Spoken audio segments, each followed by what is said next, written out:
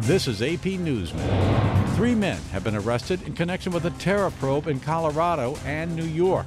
The FBI is investigating an alleged plot to set off explosives in the United States.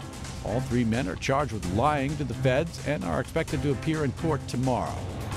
Top Democrats are urging New York Governor David Paterson to drop out of the 2010 governor's race. Paterson's dismal approval ratings have the party concerned about the possibility of losing the office. The White House says President Barack Obama will be in New York later this week to meet with Israeli Prime Minister Benjamin Netanyahu and Palestinian Authority President Mahmoud Abbas.